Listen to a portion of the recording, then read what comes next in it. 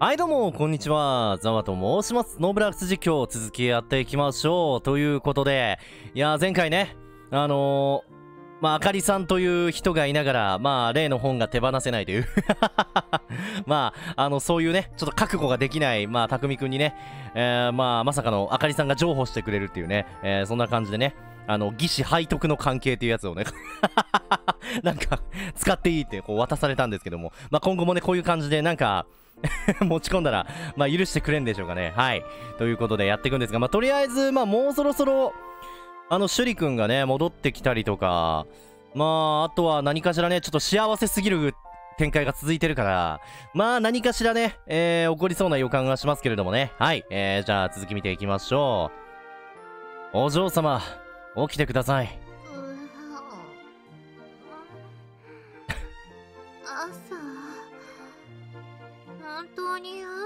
あれ確か、なんだったっけ？お目覚めのキスをしなきゃいけないんだっけ？一日一回、最低一回はやんなきゃいけないみたいなね。感じだったよね、毎日ね。てか、てかさ、もう毎回もう、あかりさんはさ、もう、開き直ったんだね、もういいや、つって朝頑張って起きるの無理だから、ちょっともう、もういいや、つって。はい。ぎっちぎちの朝ですよ。なんだぎっちぎちって どんな朝だよ どんな朝なんだよ、マジで。ほら、早く起きて着替えてください。学院に遅刻しますよ。キス。目覚めのキスは？約束でしょ？もうさ、寝ぼけててもそれは覚えてんだな、しっかり。わかってるよ。それじゃ。あ。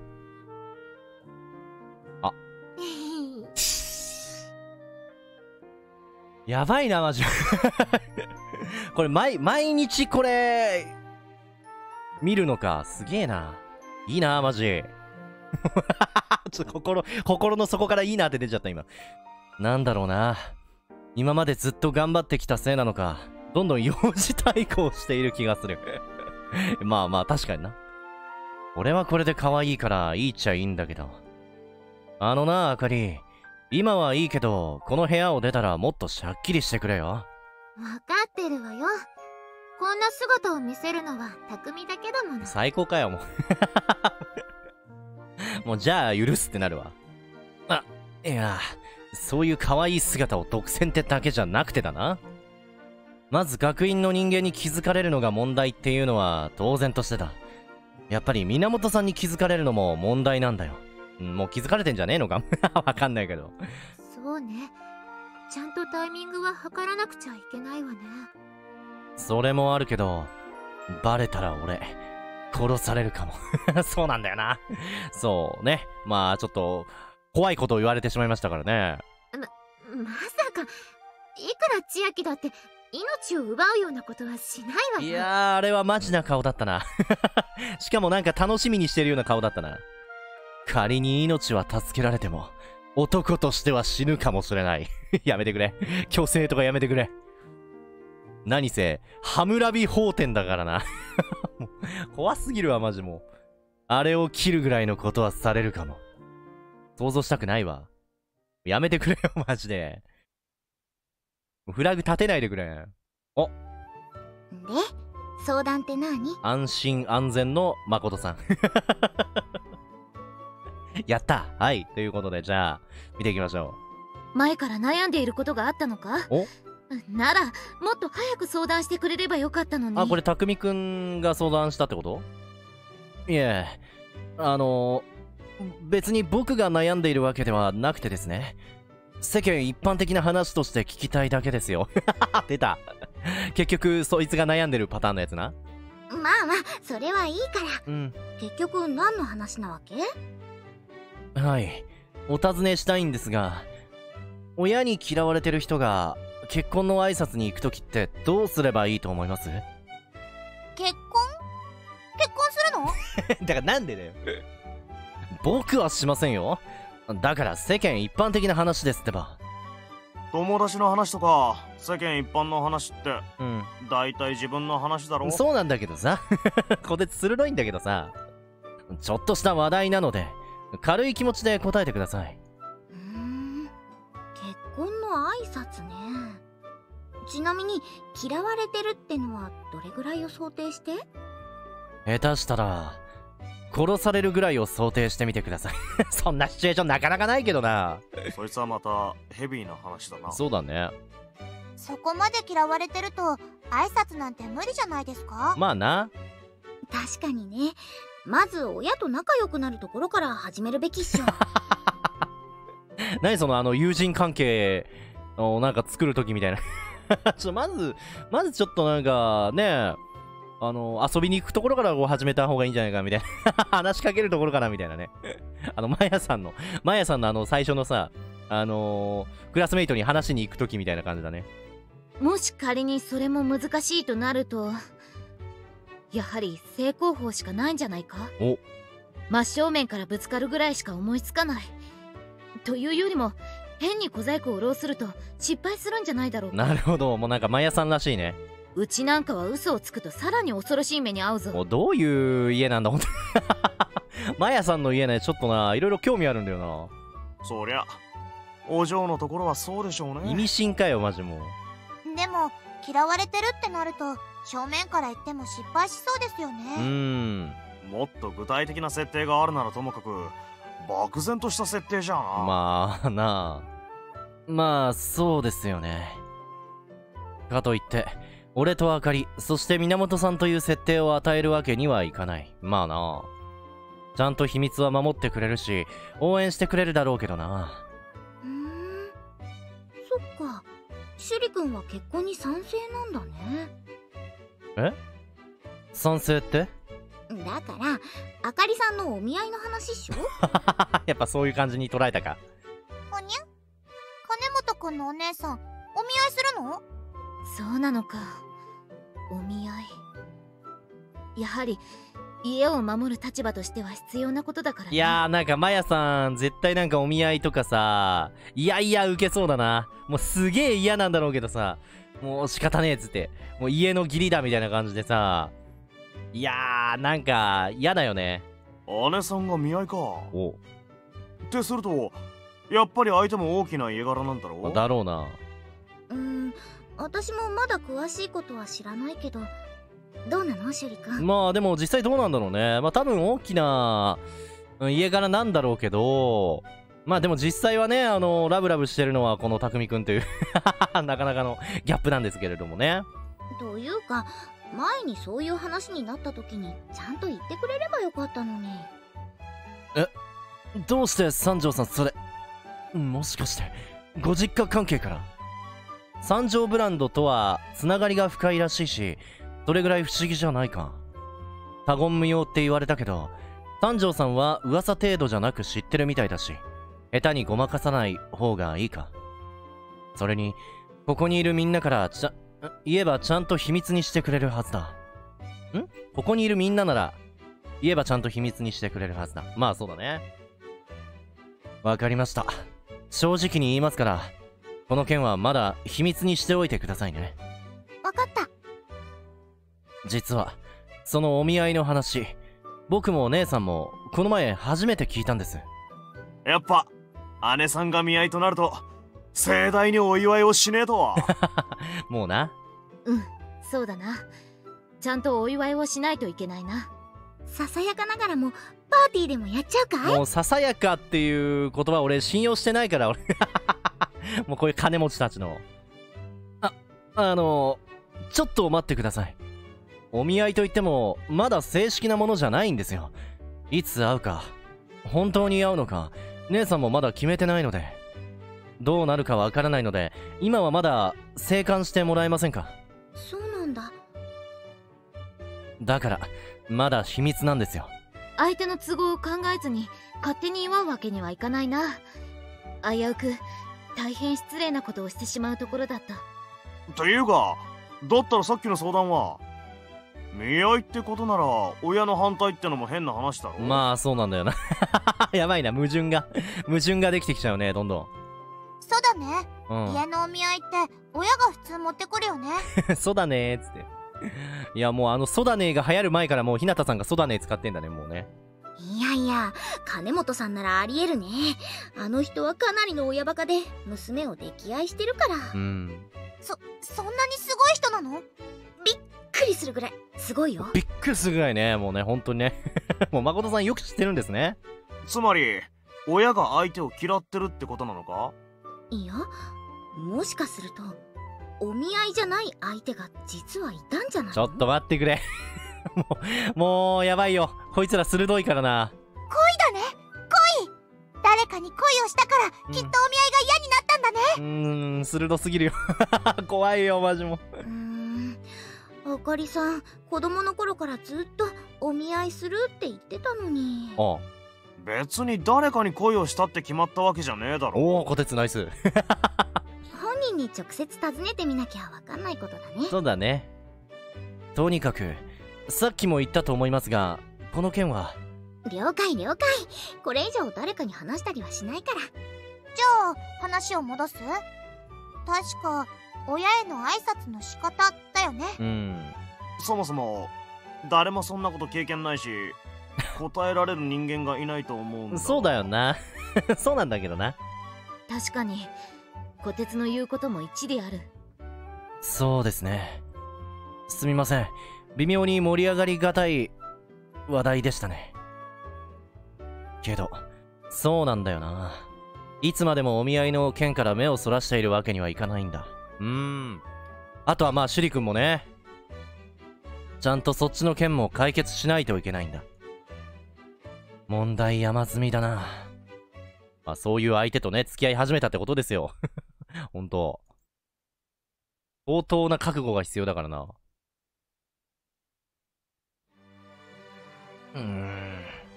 どうかしたの？匠もう当然のように来るね。もう当然のようにいるよね、もうね、あかりさんもね。いや、こうしてあかりと一緒にいられるのは嬉しいんだけど、あの学院って勉強が大変だよな。授業スピードがかなり速いから、復習するだけでも一苦労。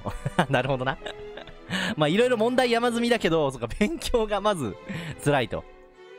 屋敷の仕事も含めると、予習なんてしてる暇はない。クラスメイトもよくあの授業スピードについていけるもんだ。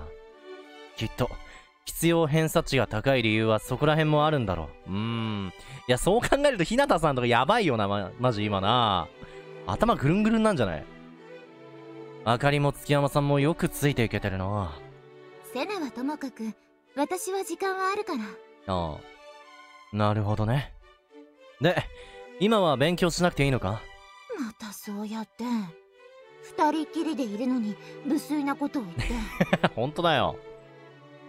確かに無粋かもしれないけど、必要なことだ。付き合ったことがきっかけで、あかりの成績を下げるわけにはいかない。というか、俺の方がやばいんだけどな。そうなの？そんなに危ないの？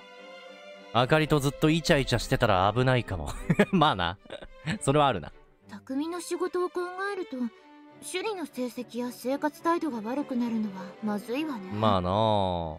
でも勉強を優先させたら一緒にいられなくなる いやー。まあ、それは確かに。匠はそういうの平気？平気なわけないだろう。そそんなの平気なわけないだろう。うん。そりゃ一緒にいたいけど、ちゃんとすべきところはしておかないとダメだろ恋人になったからダメになった。なんて事態になったら言い訳できない。そんなことになったら、源さんやお父さんに最悪の形で伝わるだろう。それはそうだけれどあん？だったら一緒に勉強しましょういい案じゃないかしら何の勉強するのかな一緒にお勉強ですかああ、まあそれもいいんだろうけどね。うん。まあいいとこ取りしてるけどね。うん。何のお勉強するかによるな、それ。じゃあエスカレートしてそっちの勉強になっちゃったら危ないけどな。一緒に勉強？さ私はお姉さんなんだから弟の勉強ぐらい見られるわ確かに。まあ大義名分としてはもう全然、ね悪くないよね。それにそれなら一緒にいられるでしょちゃんと勉強もしてるんだから問題ないわよねまあ、確かに。問題はないのかもしれないけど、弟の勉強ね。こんな時だけ年上ぶられてもな。まあまあまあまあ。しゃあないじゃないですか、そこは。年下に教えられるってのはすごく微妙な気分になるけどまあやってみますか一緒にいたい気持ちは俺も同じだからなやるしかねえんだけどな今。この状況になってな。お。何この雰囲気。すげえ微妙な雰囲気だな。あれ？思ったよりもかなり真面目に勉強が進んでる。いや確かにそれは望んでたことだし遊びほうけるよりもいいんだけど。なんか寂しいぞ。ななんだ寂しいぞって。に何を期待してたんだよお前。いやいや俺が言い出したことじゃないかちゃんと真面目に勉強しないと。うん。でも寂しいんだな。たくみどうかした？何かわからないところでも？ああいや平気。大丈夫。問題ないから。そう答えはしたものの二人で真面目に勉強し続けるってのは少々寂しいものだ。まあな。かといって俺の方からやっぱり勉強をやめにしてイチャつこうと言い出すこともできない真面目にやろう そうだな結局悶々としてたのは あかりさんじゃなくてたくみくんだったっていうねさあどうなるんでしょうかお6日か。え、もう趣里くん戻ってくるんじゃないの？大丈夫かな？毎回言ってるけどな。趣里くん全然出てこないからさ、あれからね。はい、じゃあ見ていきましょう。そうして今日も2人で一緒にお勉強。しかし、本当に真面目だな、あかりは。今までずっと努力をしてきたんだし、真面目なのは知ってるつもりだったけど、集中力がすごい。うーん。確かにね。一緒に勉強している俺の方にまですごいプレッシャーがかかってくるようだ。ひたすら無言で教科書に向き合うあかり。昨日、今日と続けてきたけど、本当に勉強しかしてない。ねえ勉強に飽きちゃったたくみ遊びましょう っていうね、まあ、こういうのを想像してたんだろうな。で、ちょっとこう、ね、あの、エッチな遊びをな、することをちょっと想定してたんでしょうけど。なんてのは、雰囲気のかけらすら味わえない。たくみこんな勉強だけじゃなくてうん。もっと学院では教えてくれないような勉強をしましょうあれですか、義士背徳の関係の中でこういうの出てくるんですかね。この妄想は、ちょっとね、あの妄想のソースはどこなんでしょうかね。と、色っぽく誘ってくることもない。確かに真面目に勉強するのは必要だけど、ここまで何もないってなると逆にストレスがかかる。まあな、確かにな。別にそんな性的なことじゃなくてもいいんだけど、一緒の空間にいながら触れ合うことが全くないってのはどうなんだ？あの、あかりさん？何？たくみ何かわからないところがあった？そうじゃなくて、ちょっと休憩、息抜きをしませんか？息抜き？それは構わないんだけれど。あだったらあれをしましょう。あれ？あれ？なんだあれって。このこなに、なに、プロレスでも始まったのね。あ、ゲームか。なるほど、ゲームね。あの、格ゲーかな？おっと、そうはさせじ。こうなったら超必殺技を 仲いいんだよな、本当に。だから、それは隙が大きいってば。うわー、うわー、うわー、うわー、うわー、You win でしょ。と、体をバウンドさせるキャラ。そして俺の隣では、悔しそうな表情を浮かべるあかり。もう一回もう一回勝負よたくみそろそろ、勉強再開させた方がいいんじゃないかと。ダメまだやるのこのまま終わったら悔しいもの私は勝つ勝つまでやるのだからって手を抜いちゃダメよやばいな。ちょっと、あの、息抜きって言っちゃった手前、ちょっとなんかいろいろと どうすればいいかわかんない状態になっちゃったな。はいはい。息抜きで借りてきたゲーム機と液晶画面を使って、また格ゲーを始めることになった。これさ、あの、逐一こう貸したり、返したりとかしてんのかな？借りてきて返してみたいな。うん。それはいいんだがすでに1時間弱は休みなく対戦している結構長くやってるね結果は俺の全勝そろそろバレない程度に手を抜くかというかここまで負けなかった俺も大人げないな まあまあまあまあそこはな、まあ、お前も負けず嫌いなんじゃねえか？何か言った？いえいえ、うん別に何でもありません。画面上の Ready Fight の文字が弾けてキャラが動き始める。あかりは何でも頑張り屋なせいかゲームの上達も早い。それでも長年ゲームをしてきた俺には及ばないのだが。まあな。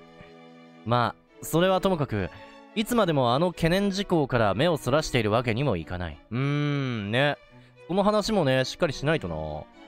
ちゃんとあかりと話しておくべきだよな。なあ、あかり。何かしら話しかけて集中力を乱そうだなんて卑怯な作戦だわそうじゃなくて、聞きたいことがあるんだ。あの、見合いの話なんだけど。あ、バシッと攻撃を加えた後、あかりの使っていたキャラがピタリと動きを止める。このままだと負けるぞ。やっぱり集中力を乱すつもりねいや、そうじゃなくて、あの見合いの話、まだ返事はしてないんだろ。うん返事はしてないというかまだ資料も写真ももらってないだってええそうなのか。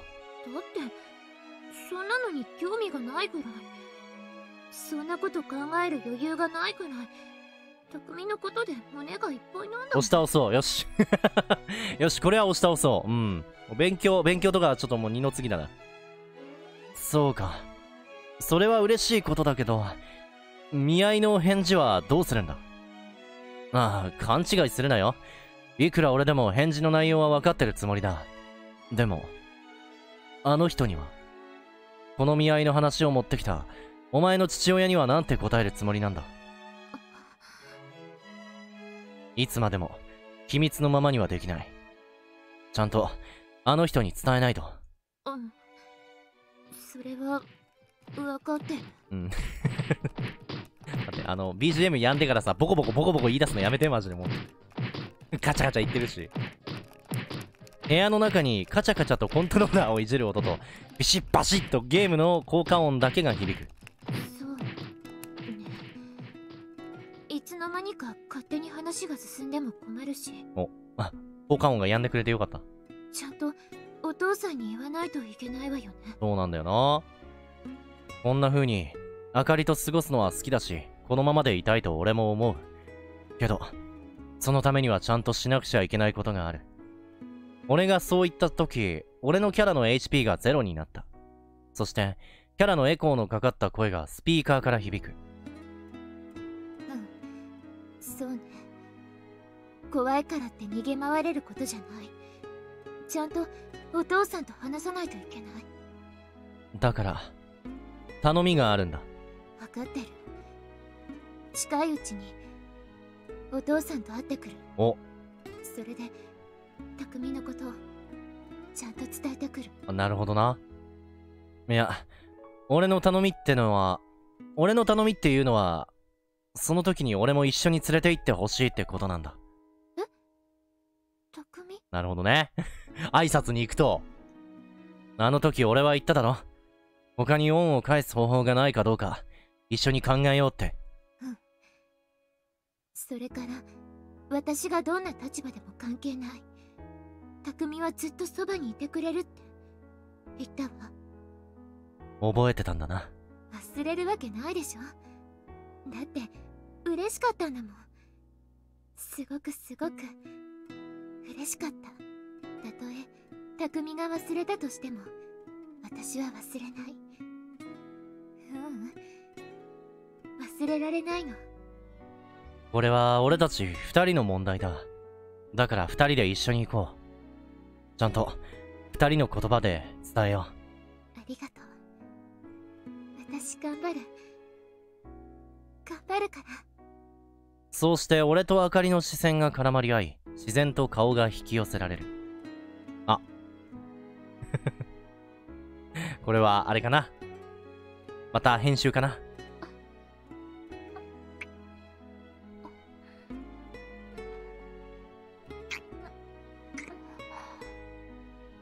俺は唇の感触、ぬくもり、そして明かりの香りを堪能する。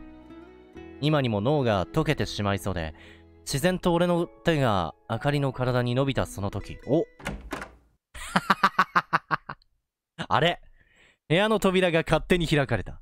いつまでゲームをしているんですか藤島さん。まずいぞ。これ、待って、え、今さ、キスしてる状態で見られてんの？今。これ、バンジキュースじゃねあ。これは終わりましたね。はい。ということで、じゃあ今日はここまでかな。今日はつうか、えー、今回はここまでかな。はい。えー、まあ、千秋さんにちょっと見られてしまったわけなんですけれども、果たしてこの後どうなっていくのかというところでね、はい。えー、ぜひぜひ次回もお楽しみにしていただければなと思います。ということで以上です。ご視聴ありがとうございました。ぜひぜひチャンネル登録の方ももしよければよろしくお願いいたします。それでは、バイバイ。ありがとう。